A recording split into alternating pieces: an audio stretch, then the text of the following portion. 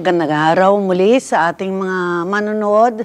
Welcome to another episode of Sini Pinoy.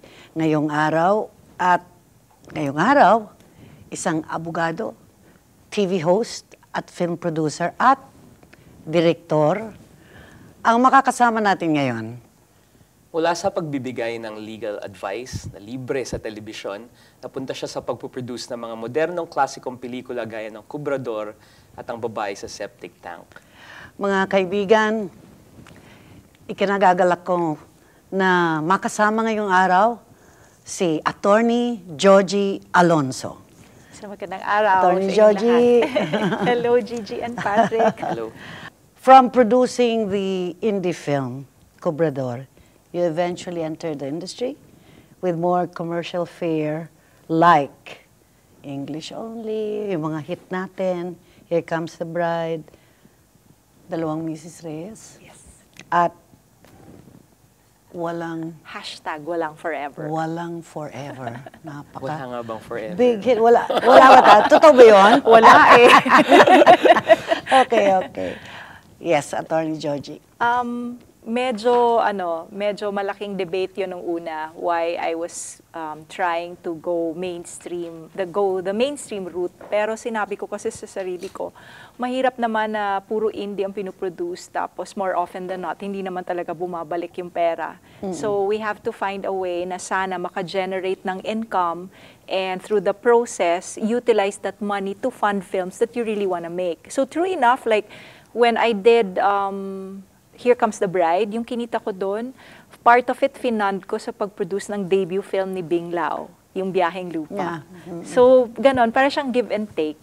Oh, yung pero yung Cobrador, anong nakuha mo doon? Uh, ka- bringing out uh, Cobrador was uh, Yeah, everybody- Cobrador is, diba, ano- critically acclaimed, etc. And, and it started an entire Everything. thing, right? Yes, um, proudly yes. ang hirap, ang hirap.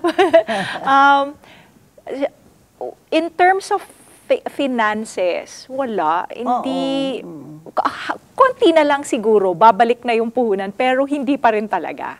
Um, I try to go via the festival route, may magbabayad ng 200 euros, 200 euros. So, pag pinagsama mo siya, kahit papano, pag naipon mo na siya, papunta naman ng pa-break even na. But it's not like it's a money-making thing. Mm, psychic rewards. Wala talaga. I But think, uh, I will, I have never regretted making that film. I almost lost my house because sinanla ko to finish the gan- film. Ganon ako parati pag wala ng pera, kawawang bahay, sinasanla ko yan para lang tapusin. But the joy that it brings, not only just to me, Jeffrey Bing, and Gina Pareño, but really to the country, lalo na it's the first film ever na nanalo ng dalawang Fipresci Awards. Wow. I will always ano treasure that. Absolutely, Yeah. Uh, eh, actually, ang daming magandang ungkatin doon. You mentioned some names and we will go there in a bit. Pero tama ba ako ng memory? I remember hearing you sometime uh, around that time, 2006, 2007, na Yes. uh, isa to sa pinakamaraming naikot na pelikula na Yes. festival. So ilang festivals bang tinutukoy Hindi ko na natin? talaga nabibilang honestly, pero ang alam ko, umabot na kami ng almost 200. 200 film So pag festivals. festival, sinong nagbabayad ng pamasahe? Um, Producer depende ba yan, G. Like, for Oo. example, the the premiere that we had, the world premiere that we had in Moscow, Hmm. um, they paid for the airfare. Business class pa, ah, si Gina at saka si Jeffrey. Hmm. I had to pay for my own airfare when I went there para lang to lend Oo, support. yes. And then, um, they also provided uh, a hotel room accommodations for, again, for the lead actress and the director. Yung producer parate, wala. Bahala ka sa buhay mo. Ganun parate. In other festivals naman, they're very ano, generous. They would fly you in and they would give you accommodations, but siguro mga 1% lang yon. Most of the time, you really have to spend your own money. Kaya So, madugo siya. yeah. Magastos. But would you say that it's important to bring around your your film? Kasi yun yung ano eh, uh, pag maganda yung pelikula mo, madaming imbitasyon, etc. Tapos pag uh, hindi ka pupunta, hindi mapapansin. Totoo. And How siguro- is it, di and ba? siguro exceptional, yan yung, eh? exceptional din yung case because 2006, and I guess kung naka 200 festivals ka hanggang mga 2008 or Up 9. to now. Up to now, Up to no? now. Ah, meaning, isa to sa mga unang pelikula ng period na yon di ba Yes. na ah, only now does it become really, ano, you know, commonplace that people go to the festival. So, how important was it, these festivals? Or maybe, ah, in a field na hindi hindi pa ganun yung practices no, no? So, and the invitations are coming to you. Sa How did you view it? Sa akin kasi first time ko na naka-participate talaga sa maraming festivals. Minsan pa, which was my first film, did participate pero konti lang, mga dalawa or tatlo. But Kubrador was like crazy. Parang invitations left and right. Ang mali ko doon, kumuha kami ng agent. And the agent dealt with a number of the festivals. Sila yung nangongolekta ng 1,000 euros per screening na hindi namin alam. Oh Tapos my. they never gave us anything. May utang pa nga daw kami sa kanila eh, kasi pinromote daw nila yung pelikula. So, Oo. ah, in reality, So, lessons learned talaga. madami. Ano, Actually, for every film, yan. meron ka matututunan na lesson talaga. Pero interesting din para sa akin dahil yun nga, isa sa mga una yung Cobrador, no? And then eventually the question of um, do you send it to festivals because it's a festival film, right? At this time, I can imagine hindi pa yun issue, no? Um, but we can say it's one of those early films that started this trend, no? Um, uh, what, do- what are your views on that? Uh, making films for the festival audience. To take Uh, that is that, is that uh, something that uh, uh, you would do or have done? Sa akin kasi, I make films for the Filipinos eh. Dapat ganon ang attitude. It's, it's for us. Now, if it's something that the foreigners will appreciate, salamat. Nagkataon lang siguro in the case of Cubrador because it was talking about corruption and and uh, the difficulties of the people. The uh, you know Gina uh, Pareño representing actually a lot of Filipinos in the same struggle na nagustuhan nila. Like in Moscow, nalaman namin ganun din yung sitwasyon nila sa Moscow. Kaya they fell, they love the film. So in in Spain, actually the country that really invited the most Cubrador was Spain. Parang lahat na lang ata ng festival sa Spain napuntahan ng pelikula. Ini-invite siya parate. Uh, maybe they were they were really um, um, happy to note that a lot of the words that we use in the film come from the Spanish, Spanish. language. Oh, so, oh, that's parang may connection somehow. So, interesante yan, what you're saying now, kasi parang may shift ka eh. May, may shift na nangyari sa'yo, then you came out with uh, highly, big hits, you know? Chamba lang. English only, yung ganon. Here Comes the Bride, dalawang Mrs. Reyes, wala, hashtag walang forever. So, w- was that a conscious shift, in a sense? Um, Kasi na, di ba, sinanla mo mo, et cetera. And you don't want to go through that again, siguro. That's Um, why. Iba rin kasi yung, okay, masaya kapag marami kang awards, masaya kapag marami kang festivals na napupuntahan, pero ang lungkot-lungkot pag nasa sinihan ka na pwedeng mag-skateboarding ang mga tao sa loob. Na walang tao. so, at the back of my mind as a producer, syempre I also think uh, sa side ng producer, um, di kaya masaya din na makakaproduce ka na isang pelikula na umaapaw yung tao sa loob na talaga ang ingay-ingay ng movie. It's more of a dream, I guess, that I wanted to also achieve. So, yon um, nag-attempt akong gumawa ng mainstream na pelikula. Pero if you will note, the kind of films that I've made na pang mainstream, merong something in it na outside the box parate. I don't limit myself to the normal drama, iyakan, sampalan, the whole galore. I don't want to be stuck to that. I want to offer something new with every film that I make. Whether it's um, um, alternative or if it's mainstream. Dapat may bago parate. And um, we were very lucky with Here Comes the Bride kasi um, madaling magpaiyak pero mahirap magpatawa. And ang ganda-ganda ng material because even if it's funny, there are lessons learned like desires of people. You want love in the case of um, the Yaya in the story. I'm sorry, the, the case of the Ninang in the story. And then in the case of the Yaya, she wanted money to help her family. Yung old man naman wanted youth kasi he still wanted to enjoy his life. Tapos the gay person naman wanted a- to become a girl. So may kanya-kanya silang desires. And what are the results when you get something that you want so badly? Would you want to hold on to it despite the fact like yung yaya, naging lalaki na siya na matandang matanda, pero ang yaman niya. So yun yung mga parts doon na um, I will never sacrifice. siguro you want to go back to... Oo, so uh, min- flashback, uh, baka- flashback siguro. oo. Um, so you mentioned minsan pa, no? So sa akin interesting din na first film yon because it's actually a very beautiful film. quite lengthy for ano no for uh, for a film nung time na yon. Um, but at the same time, I guess marami na hindi nakakaalala ng pelikula. Napakaganda ng pelikula pero ano no um, it, it didn't I, I'm assuming it wasn't a big hit. No? So ba- bakit yun ang unang pelikula um, sa pag-transition mo from uh, doing what you're really TV doing, and- no? Um, and doing that. then bakit minsan pa? Uh, what was that? uh, what was in the material? 10 years before I produced Minsan pa in 2004, which was 1994, um, nagkukwentuhan kami noon ni Bing Lau and Jeffrey Jaturian at the time because I was then producing Legal Forum. I was hosting Legal Forum. And for many who don't know, that was the same year that we produced a movie for television, which was eventually shown on RPN 9, which was written by Bing Lau and directed by the late Ishmael Bernal. Wow. So I was very fortunate to have worked with him kahit na muntik na kaming tapunan ng vase, ng vase. anong, anong title?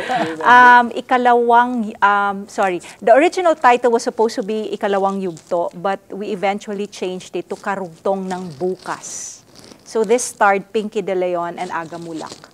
And during that conversation, I was I was sharing with them na ako ako talaga gusto gusto ko mag-direct. Since I was in third grade, I've been saving my baon. I wouldn't, you know, my parents would allow me to commute going home. And I would save my baon each time. Um, I would ride the jeepney one way only, and then the second jeepney ride, I would I would rather walk. So I'd save the money to watch a movie on a weekend. And my sister would always get mad at me kasi gustong-gusto niya ng John Travolta and the like. Ako naman gusto ko ng mga minsan isang gamo-gamo, tinimbang ako ngunit kulang. Nandun ako sa weird daw ako. Bakit daw yun ang gusto ko? But ever since I saw Maynila sa mga kuko ng liwanag, and that particular scene that Bembol was being beaten and you don't see anything, grabe, talagang sabi ko, my God, this is such a powerful medium. Gusto ko tong gawin. Then, na-realize ko, hindi ko kaya mag-direct. Ang hirap-hirap pala. Nanonood ako kay Jeffrey noon. Sabi ko, my God, di ko kaya yan. How to lead these people, how to do this, and all that. That's not something I'm capable of doing. So, sabi ko, sige, mag-produce na lang ako. So, nag-start ako with the telesine. And then, sabi ko, sige, bigyan niyo ako sampung taon. Mag-iipon ako. And then we will make the movie. Pero gusto ko love story, ha? Ah, Ganun pa. Yung ganun pala pa. yung minsan pa, Yun no? pala. love story. Okay. And then only to realize, sabi ko, naisahan ako doon na hindi yun love story ah. ano pala siya, about a man's journey. But it was a Yes. beautiful film. It But is. It I was, will it never is. forget it because I lost more than 20 million in that Oh, film. wow. As in lifetime savings ng pamilya ko na ubos. So maybe that's another reason, Patrick, why I would like to produce films that would make money para naman meron pa naman ako ipapamana sa mga anak ko balang araw. Wala na eh, said na said na talaga. So yun, thinking about that money in 2004, no, 20 million, would have stopped anyone from making another film, no? Yeah. Ah, meaning, para matalo ng ganon kalaki, no? And yet, your follow-up was an equally independent effort, no? So, ano yun? What was the driving force behind, ano? ah, ah, Wala, yeah. nung nabasa ko yung treatment pa lang yun ha, hindi pa lang script ng Cubrador, sabi ko, "Gus- chef, gusto kong gawin to. Ang ganda eh. hindi ko ma-explain. Parang, um, other people, ang fantasy nila makabili ng bahay na malaki-malaki. Ako, ang late lang naman ang bahay ko. Ang, ang iba, gusto-gusto nila magaga- magagarang kotse. Ako, simple lang naman sa sakyan ko. But the desire, yung, yung gusto kong gawin is to use my money to make a film. Parang ganun yung mindset ko at the time. So when I read the treatment, sabi ko, naku, we have to do this. Tapos ang sabi nila sa akin, 2M lang daw yun. Sa awan ng Diyos, umabot kaming 5M. Pero th- they pitched to you. So your relationship with Bing and Jeffrey matagal na, no, mahaba na. Yes. So Oo. I assume from the telesine time, no? Ah, Yes, and, And- even prior to that, Jeffrey was my director for Legal Forum Oh, when I okay. started. Ako Okay. yung guinea pig niya. Okay. Oo. Oh, and and therefore yung mga material na yon, um, uh, do they come to you with material and ask to be produced or how is the process like? Yes, Uh, that up to now, May they- input ka ba dun sa uh, or do you trust them fully with okay, here's the money to make Cobrador, make it or Dati ganun ako. Um, uh, we get the line producer, ano yung cost natin. So, sige, let me know. And I, I just release the funds. But now, no more. Mas hands-on na ako. Kasi ilang beses na ako naloko eh. So ngayon na you are mature enough. Yes. so I will just move into the ano yung ah, motivation mo? At saka ano yung nakita mo na worth it to make these films na popular siya pero merong something siguro, else, no? no? That you want to put in. Ano yan, yun? G? Um, Wala siyang dekahon na na formula. Like, wala siyang English set only, rules. please. In English only, please. Di ba? Um, paano ba yun nangyari? Um, I was given the concept. We wanted to make something na parang Korean ang dating. Light lang, masaya, and all. And then, nung nabasa ko yung initial script, tawa ko ng tawa. Kasi ko, ang saya naman ng pelikulang to. Sige, gawin natin. And we never imagined that it would be a success. Not at all. Sabi ko nga noon, ma- makabawi lang ako, masayang masaya na ako. So, parang ano, alam ko yung ibig sabihin nun eh, yung parang wala namang formula to, for big hit eh. Wala, Hindi, wala. suddenly lang, pang, it will come. So you di don't do like uh, Oo. contemporary practice ngayon is like Oo. audience research uh, or is this like parang intuitive lahat na Ang dami Oh, namang oh, nagagawa ng ganyan, pero hindi naman na sila nagsasucceed Oh, eh. Oh. There's some, there's a gut feel. Um, al- ganito yon. I, I read a script, I like it, and then, oh, sige, gawin natin yan. When I see the movie, I have this, I can sense if the film will make money or not. Maraming beses na yan, like, um, a long time ago, it's not my film, the John Lloyd Sarah Geronimo um, very first partnership. Uh, ini- na-invite ako sa uh, movie premiere. So, ang mga usap-usapan noon, mag-work kaya yung movie with a combination. Parang ang sabi, hindi, hindi, hindi. Nung napanood ko yung pelikula, sabi ko, you wow. knew, you knew. Kikita to, ganon kaagad. Alam mo eh, hindi ko alam how, but siguro sa kakapanood ko na, alam ko na pag oh, mag-work now o you hindi. can feel it, di ba? From all the art films, uh, hindi naman art films, uh, kasi you can call it, uh, you know, may, may uh, political statement, etc., etc. And then suddenly go into this, alam ko kikita ito, di ba? Yung shift na yon sa akin, parang for survival ba yon? Kasi nga, di ba, sunod-sunod na medyo talo tayo, ganyan. Pero will there be a point na aalis ka na naman doon o you're, you're, you're happy with this? O parang Um, comfortable. Ah, comfort uh, zone ba to? Kung Oo. kaya Dalawa, kong no? gawin, I'd like to do both. Like um like this Metro Manila Film Festival, I have The Girl in the Orange Dress. Nung pinabasa sa akin ni Jay Abelio yung script, hindi ko mabitawan. Aliw na aliw ako kasi it's it's ano again, it's everything happens in one day. How can you make a rom-com that everything happens in one day? So it's again a very different approach. It's not the usual fare. So na-excite akong gawin siya. And then at the same time, hindi ko nakakalimutan, like, all the- over the years, I've supported a lot of Cinemalaya films, pero hindi ko pinapalagay ang pangalan ko. Kasi ang daming lumalapit eh. Ang daming, um, o fund ka nito, ganyan. May pelikula po kami attorney, kailangan namin ng 1 million. Parang gusto ko sabihin, wow, So- may patago so, kayo. It's like an advocacy for you, di ba? when I Supporting- like something, yes, Oo. it it it changes everything. When I like something, it changes everything. Um, like ano, the late Francis Passion when Yes, he gave me right. his material for Sampaguita, Sampaguita no? and and for Jay. I'm sorry, not Jay. Sorry, um, not Jay. Uh, the last one, Buakaw? uh, not Buakaw. Uh, Buakaw is June Lanay. Ah, sorry, uh, Um, buhaya pala. Buhaya. Sorry. Buhaya, Buhaya. Buhaya. Okay. When he Sounds the same. Sounds the Yeah, same. letter So, okay ka when he I, when he presented the material to me, nagustuhan ko siya. Sabi ko, sige, sige Francis, tulungan kita. Hindi lang ganun kalaki, but I will help. Yon. And then si Jason Laksamana, when he presented to me the script of Babagwa, Ah, gustong gusto ko siya. Sabi ko, sige, halika, gawin natin to. Puro parating ganun.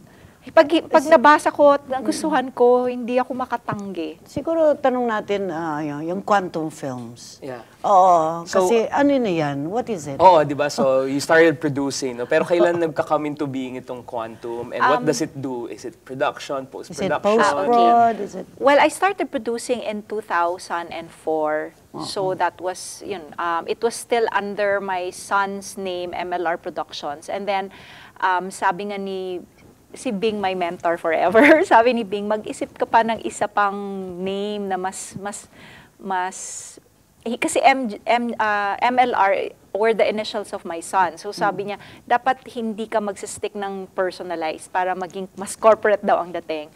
And then, uh, he was even the one who suggested quantum. Okay, Quan- after pala it's yan, a ah. quantum leap. Parang ganon. You, you set aside everything, you just jump. ganon. So that's how it was established. It's a very small outfit. It's a, a private, it's a family thing. And um, we ventured into post-production in 2013.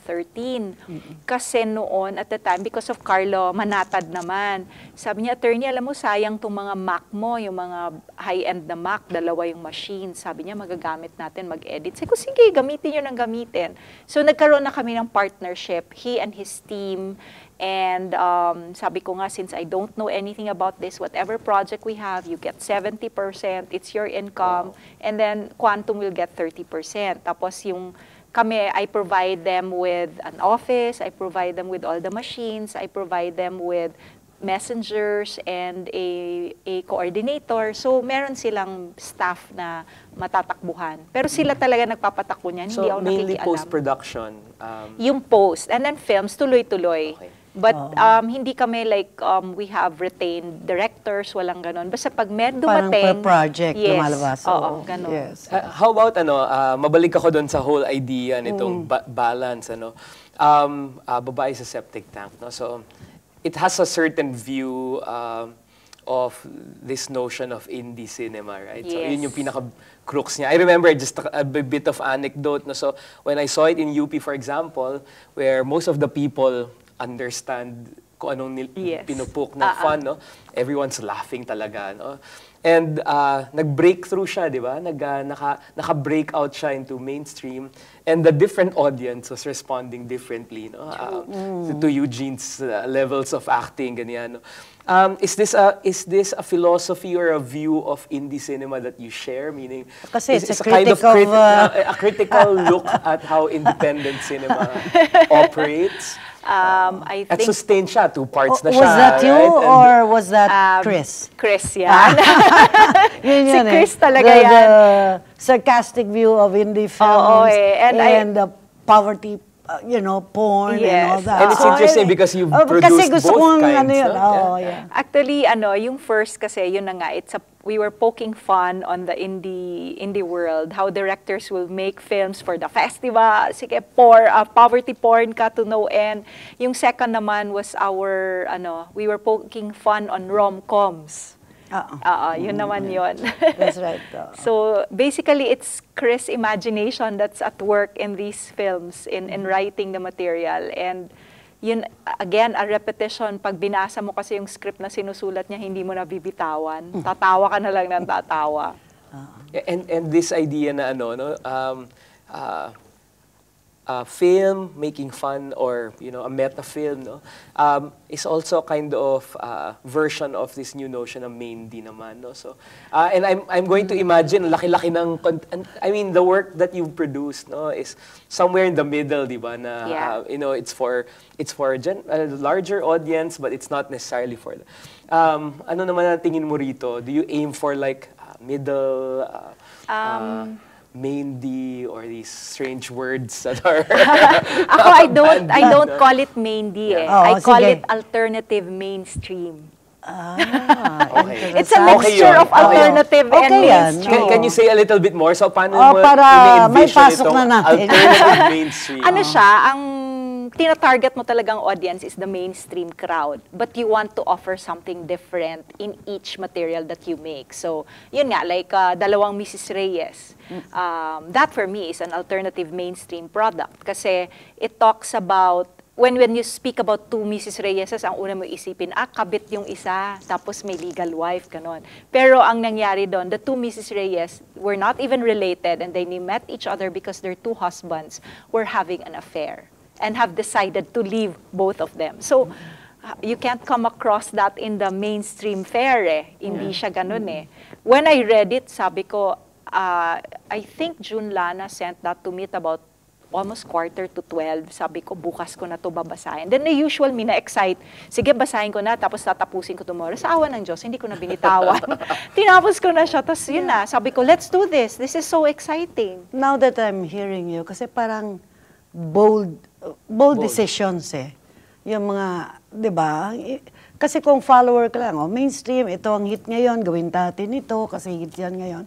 Pero ito, you're looking for something different.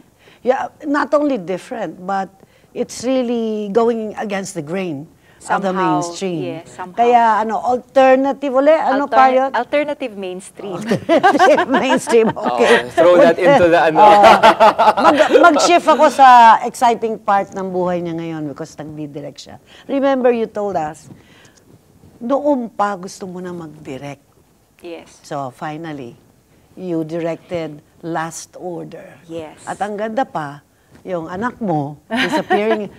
Ang galing kaya. Oo, ang galing ng anak mo umante. I wanted to work with so, him.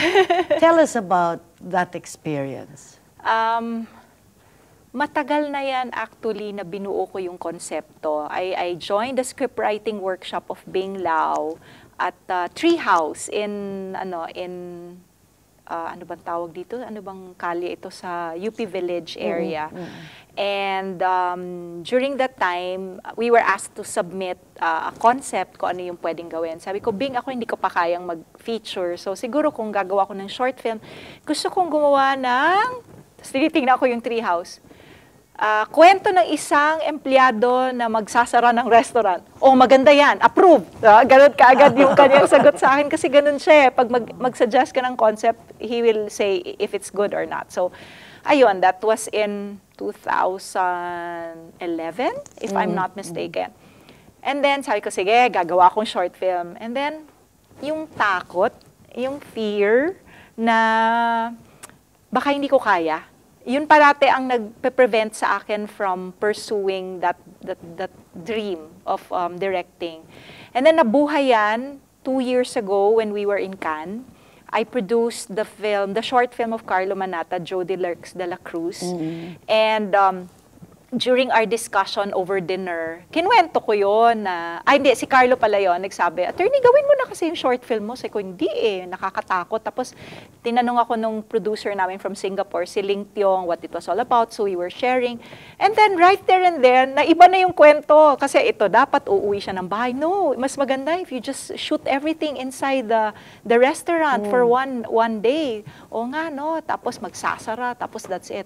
Tapos suggestion naman, hindi, lagyan natin ng economics na yung ah, fast food industry, pinapatay yung mga maliliit na restaurants.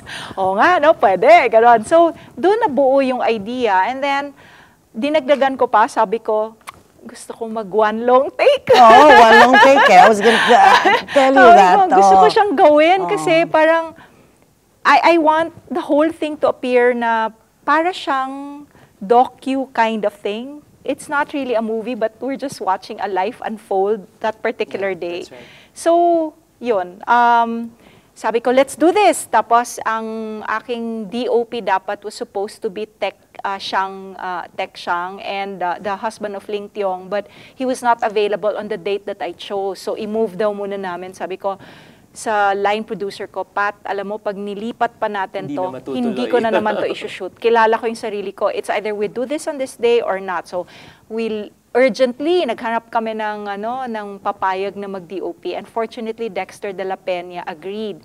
And I think he was the perfect person to do it. Kasi Dexter is petite. Eh. So, na-imagine ko kung si Tech yung nag-shoot noon, ang laki-laki niya, mga- babangga siya. But for- follow action, follow action. Oo, mahihirapan siya. But because Dexter was um, petite, mas madali, mas makakasingit-singit siya doon sa pagbukas ng pinto and all that. So, sabi ko, ayun, talagang everything fell into place. So, sinut ko siya in one day. We had 16 takes. 16 takes. May pang I was gonna- 17 pa dapat yon Pero Oo. sabi ni Dexter, attorney, nanginginig na yung tuhod ko. Hindi ko Oo, na pagod, kaya. pagod, Hindi na niya napagod, kaya. oo. Kasi we didn't use a steadicam because pag steadicam, masyado siyang steady. Gusto namin yung movement Yeah, that's talagang right. ano lang siya, parang handycam effect, pero mabigat. Actually, the, eh, the aesthetics reminds me of ano, no, yung uh, yung Bing, Jeffrey, ano, Yes. no? Pero Nasa iba yung, Cobrador. iba yung milieu actually. Pero no? So iba suddenly pa. it's a different Mm. world. No? But, Yes. eh, And I, I sense, ano, no, kind of influence there as well. No? So tama ba? Yes. Am I sensing correctly na Meron, may definitely. Like no? Jeffrey, um, may mga sinadjust siyang characters na ipasok ko to mirror the closing restaurant, mga ganon. Yeah. And and ano no from from this uh, directorial debut uh, nanalo na yung pelikula nakapag-ikot ng mga festival. So how does that feel no from wanting to direct to taking the detour of producing and Are we now- expecting a, uh, a long feature? Yeah, Cinemalaya. Ah, di ba? Di ba? Yes. Nandun oo. na yung sa utak mo, no? Pero hindi ko yun pinlano, G. Ano Oo. naman yun, um, masaya pala, well, to answer the question, masaya palang mag-attend ng festival na pelikula mo yung pinapanood. Pero nakaka at the same time, Nakakaba. nakakakaba. Parang hindi ka makahinga kasi baka mamaya hindi nila magustuhan. But at the end of the day, sabi ko nga sa sarili ko, basta ginawa ko siya, it doesn't matter anymore if they like it or not. Kasi wala ka naman magawa na rin eh, hindi mo naman mababago yun. Ah, yung sa full-length feature, wala talaga. Ang sabi ng iba, kaya ka gumawa ng short film kasi gusto mong gumawa ng full feature. No, that's not true. I, I was going to ask, no? Hindi So, talaga. yung short film, matagal na, 2011, iniisip mo. But Yes. the feature, kailan mo lang yun uh, is inisip o I was on the internet. I saw this. I I saw this video of this girl sharing her story, and right there and then tumawag ako kay Pat Pat with matching bad words. Alam mo, kung gagawa ako ng feature film, eto na yon, eto na yon. Uh, why? Because it's a story about a woman who has, who has shared unconditional love for this man. And in my world as a lawyer, where there are so many people fighting about support, about annulment, about uh, mana-mana, and I see overflowing love in the story of this woman, madadala ka eh. Parang, you wanna do something that's positive for a change? Yun. So, so can, can you tell us about the conceptualization of that? So you saw this Ah. bit and then Okay. sulat ba agad? or Um, pinasulat ko siya kay Christine Barameda. Um, we submit, uh, we were able to submit a treatment to Sinimalaya. Ah, kinalimut, nakalimutan ko na yun eh. As in, nag-submit lang kami, tapos sabi, "O, sige, kung makuha, okay, kung hindi, hindi. Oh my God, nagulat ako. Tumawag sila, napili siya among the semi-finalists. I think there were 20 or 22 of us na kinuha na semi-finalists. And then, doon ako natakot. Sabi ko, shucks, ano tong pinasok ko? Totoo na to. hindi ko, hindi na to lokohan. And then, um, uh, I had to find another writer kasi si Christine has never been in a relationship. so, hindi niya kayang Kilala ko si. Christine, so parang, oh, okay. Okay. Hindi niya Pero the fact na babae, ah, I thought, ano, Ay- pero yung pala, eh, walang Hindi paghuhugutan. eh. Oh, walang paghuhugutan eh. So, um, ano yun, um, tumakbo kay Ricky Lee. Um, for many, many years kasi Ricky Lee and I have been classmates in acupuncture. Oh. So, yun, um, I ran to him and asked him for help. Kasi this is not the kind of movie that Bing Lao will approve. Ang ganda, so, ang hindi, ganda niyan. Hindi na ako nag-isip na niyan. lumapit Oh. kay Bing. kay Ricky Oo, na. Tumakbo kay Ricky. And I, I um, nagsulat si, I I chose Therese Kayaba because I thought Hmm. she was a very good writer. She did Delia and Sami. Yes. And I love the script of Delia and Sami. And sabi ko, this is the kind of nuances that I want in the film. Light lang siya, but merong sinasabi. And then, nagsulat siya, nung pumating kami kay Ricky, naku, na-lecturean kami ng katakot-takot. as in, X lahat. As in, wala tang natira sa, sa script na sinulat. So, we started um, discussing kung ano ba yung pwedeng gawin, etc., etc. And then, yun na, maraming ideas na pumasok. And then from there, rewrite, mga 50% na yung approved. So again, rewrite some more, and then before I started shooting, 70% was approved. So I decided na yung 30%, I will re we will write As it as we along. went along kasi I needed to feel muna the characters as we would That's right. do the film. And true enough, ang daming nagbago Oo. na to a point na parang, sabi ko nga, siguro panahon na talaga kasi everything was falling into place. All the ideas that that that entered um, into the script as we were shooting, wala yun sa original eh. Ang original kasi is um, a- an older woman falling for a younger man. Ganun lang ka, ka-basic ang premise. But hindi naman pwedeng manipis. Sinimalaya to. hindi pwede. So we had to input so many ideas along the way to make it uh, more layered. And as it, I, I even had to consult a psychologist because my my lead actress, the my lead character rather, is a psychologist. So kailangan yung mindset din ng isang Oo, psychologist maipasok ko. Correct, So, ang laki rin ng tulong ni Dr. Saplala because um, sabi niya, tama itong pasok mo rito. Ito, this is wrong. Psychologists do not do this. So, yon we have to correct those things. So, would you characterize yung ano directorial style? So, second feature na ngayon, no? And you've done a short film. Mm-hmm. First feature pa lang. No, Oo first nga, feature. feature na nga.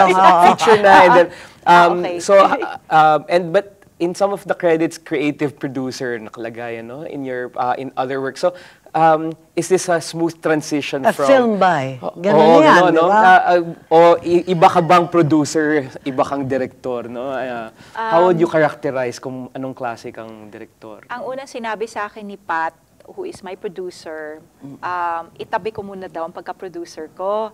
Kasi every time na naglo-location hunting kami, naku Pat, magkano tong Nagko-compute ka location? na, no?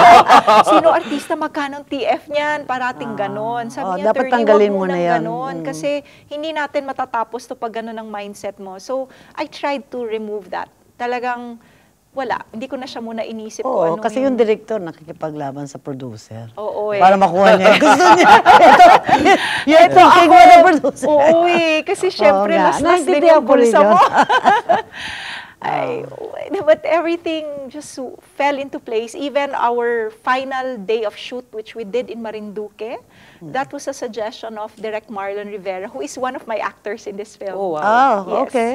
Sabi niya, you know, I have the perfect place for you. When I saw the sh- the the photos of his balay lahi, which is co- which he owns together with Cholo Laurel.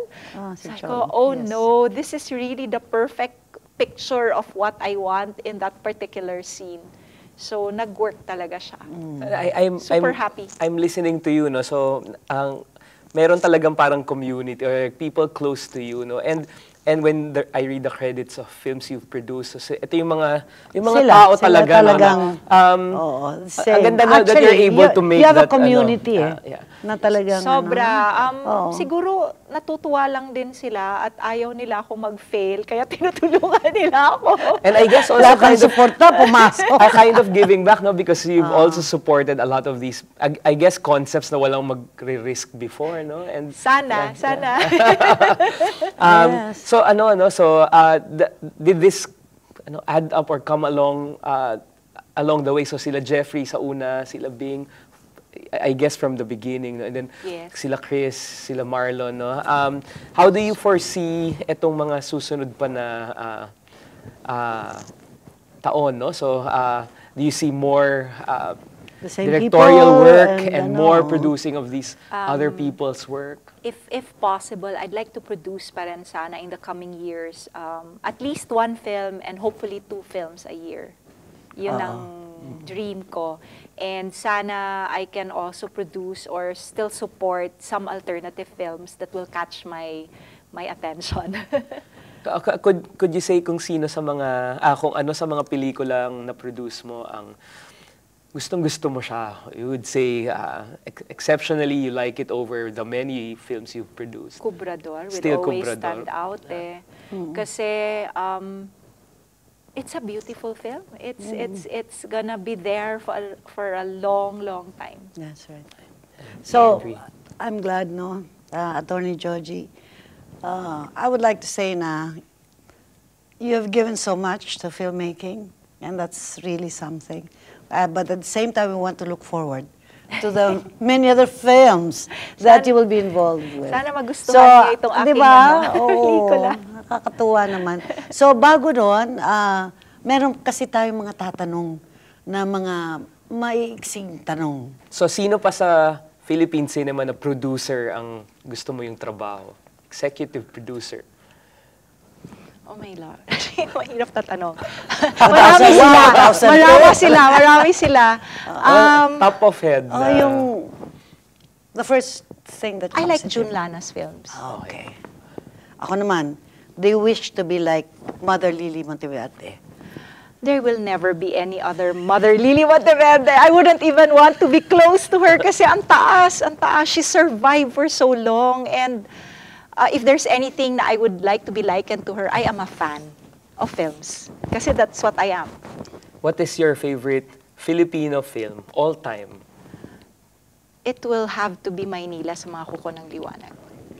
How about contemporary Filipino film? Contemporary. Hmm. Marami-rami na yan. um, I especially like the film of Bing Lao, um, Biyahing Lupa. Even if they didn't really make the festival rounds because it was more of sound, eh, sound design, and people would just be reading the subtitles. Iba siya eh. Um, iba. Iba siya. Okay. Favorite actor? Favorite, oh, wala eh. Favorite actress?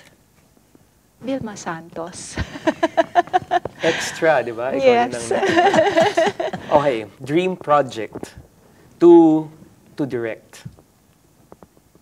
wala pa. Hindi pa, it hasn't crossed yet. Okay. It hasn't crossed my mind yet. Kasi, uh, like I mentioned, na, napanood ko lang yung video na I got so inspired by it, I wanted to do it. So, it will come. It will come. But off off the cup, ay, hindi ko kaya mag-direct ng pelikula about corruption. Parang, natatakot ako.